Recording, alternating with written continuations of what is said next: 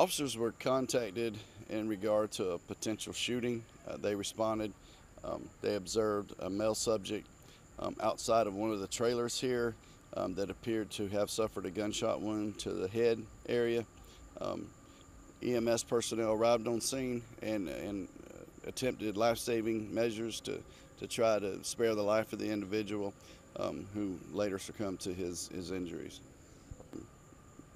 it appears that, that, the, that the victim in this case uh, often resides here or has a family member that resides within the mobile home park, and that um, there may have been a confrontation uh, that he had came, responded. He was not here prior to the incident, and uh, he came to, to the location just prior to the incident taking place, and, uh, and unfortunately was, was shot.